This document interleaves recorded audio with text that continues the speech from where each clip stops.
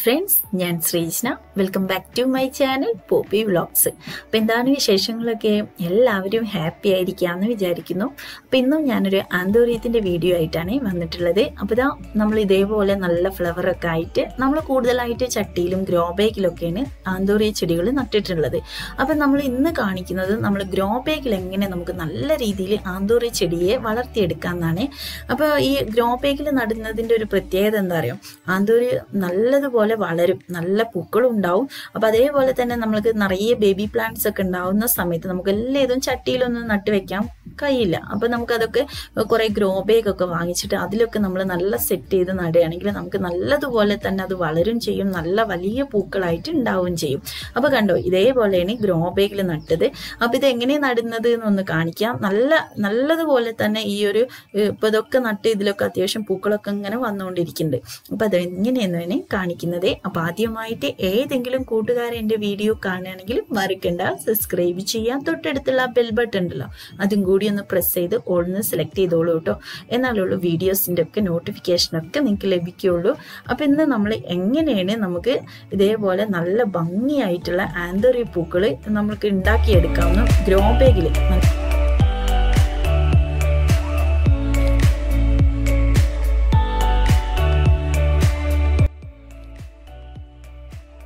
അപ്പൊ ഇതാ നമ്മൾ നടാൻ വേണ്ടിയിട്ട് ഇതേപോലെ നല്ല ഹെൽത്തി ആയിട്ടുള്ള ഒരു ആന്തോറി ചെടി എടുത്തിട്ടുണ്ട്. അപ്പൊ ഞാൻ ആന്തോറി നടുന്നത് ഇതിന്റെ മുന്നേ ഒന്ന് കാണിച്ചിട്ടുണ്ടായിരുന്നു നമ്മൾ ചട്ടിയിലൊക്കെ നടുന്നത്.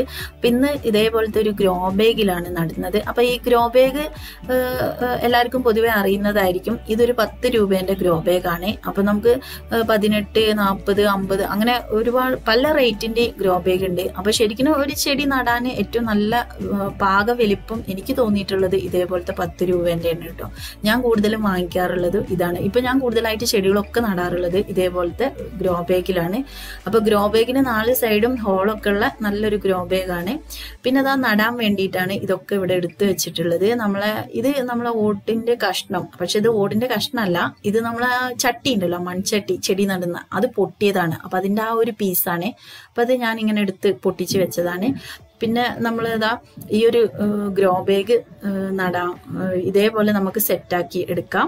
കണ്ടോ? ഇതിന്റെ നാല് സൈഡും ഇങ്ങനെ ആക്കി ഇങ്ങനെ ഒന്ന് വലിക്കുമ്പോൾ ഇതേപോലെ നല്ലൊരു ചട്ടി പോലെ തന്നെ ആയിക്കിട്ടേ ഇപ്പൊ കണ്ടില്ലേ? നല്ലതായി. പിന്നെ ഇതാ നമ്മളെ ചകിരി അതേപോലെ മണ്ണ് മണൽ ചാണകപ്പൊടി അതൊക്കെയാണ് എടുത്തിട്ടുള്ളത്. ഇനി നമുക്ക് ഈ ഒരു ഓടിന്റെ പീസ് നമുക്ക് ഇതിലേക്ക് ഇങ്ങനെ ഇട്ട് കൊടുക്കാം. അപ്പൊ ഈ ഓടിന്റെ കഷ്ണോ കല്ലോ കട്ട എന്താണെങ്കിലും മതി കേട്ടോ. ഇന്നത് എന്നൊന്നുമില്ല അപ്പൊ നമുക്ക് എന്താണെങ്കിലും നമുക്ക് ഇട്ട് കൊടുക്കാം. ഇത് നമ്മൾ വെള്ളം ഒഴിച്ച് കൊടുക്കുമ്പോൾ നല്ലതുപോലെ വെള്ളം ഊർന്നു പോവാൻ വേണ്ടിയിട്ടൊക്കെയാണ് നമ്മൾ ഇതേപോലെ ഇട്ട് സെറ്റ് ചെയ്ത് കൊടുക്കുന്നത്. പിന്നെ സാധാ നമ്മൾ ചെടി നടുന്നത് പോലെയല്ല. ആന്തോറി നടുമ്പോൾ നമ്മൾ ഈ ഒരു രീതിയിൽ നട്ടിട്ടുണ്ടെങ്കിൽ ആന്തോറിയത്തിന് ഓവറായിട്ടുള്ള വാട്ടറിങ്ങോ അങ്ങനെ കാര്യങ്ങളൊന്നും ആവശ്യമില്ല.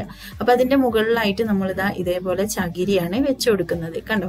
അപ്പൊ അതൊരു വൃത്തിയിൽ വിലങ്ങനെ വെച്ചു കൊടുക്കുക നല്ല രീതിയിൽ അപ്പൊ ഒത്തിരി വലിയ ചകിരി അല്ലെങ്കിലും അത്യാവശ്യം ആ ഒരു ഗ്രോ ബാഗിൽ സെറ്റ് ചെയ്യാൻ പറ്റുന്ന രീതിയിൽ ഞാൻ മുറിച്ചെടുത്തതാണേ.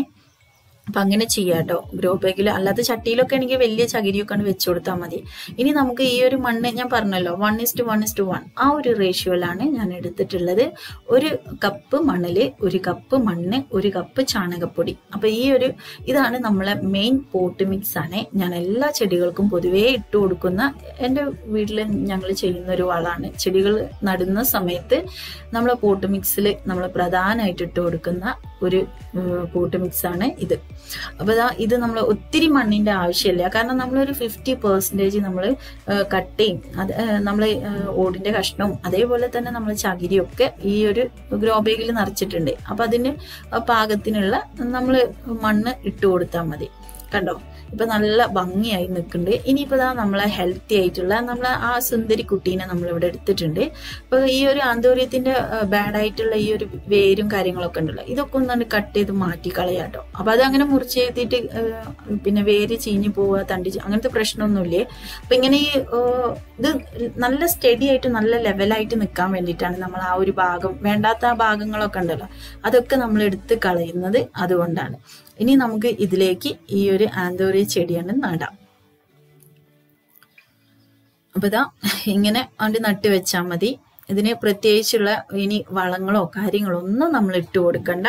അപ്പൊ ഇനി നമ്മളൊരു ആറേഴ് മാസം കഴിഞ്ഞതിന് ശേഷം മാത്രം നമ്മൾ കുറച്ച് ചാണകപ്പൊടി ഉണ്ടല്ലോ അത് ഇട്ട് കൊടുക്കുക. അല്ലെങ്കിൽ നമ്മൾ പച്ച ചാണകം ഉണ്ടല്ലോ അത് നമ്മൾ നേർപ്പിച്ച് കലക്കുക. നല്ലതുപോലെ നേർപ്പിച്ച് വെള്ളം ഒഴിച്ച് ഡൈല്യൂട്ട് ചെയ്തിട്ട് കലക്കുക.